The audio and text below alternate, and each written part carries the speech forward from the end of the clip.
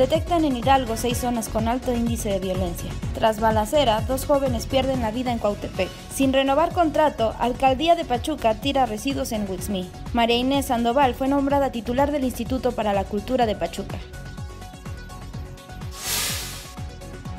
Hidalgo tiene nueve regiones con índice de criminalidad, de los cuales seis son de alto nivel de riesgo por su violencia. De acuerdo con la estrategia de seguridad del gobierno del presidente Andrés Manuel López Obrador, las demarcaciones de nivel alto son Cuautepec, Ixmiquilpan, Pachuca, Tepeapulco, Tepeji del Río y Tula. Tizayuca aparece como el único municipio de clasificación media. Huejutla y Mineral de la Reforma están en riesgo bajo.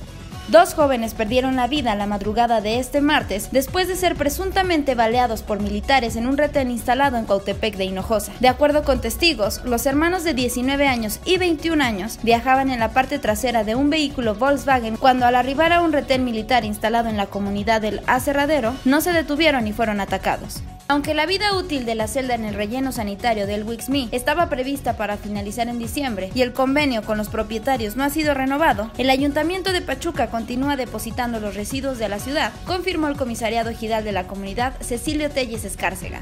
María Inés Sandoval Perea fue nombrada como nueva titular del Instituto Municipal para la Cultura de Pachuca. La designación se llevó a cabo este martes durante una reunión de gabinete encabezada por la alcaldesa Yoli Tallería.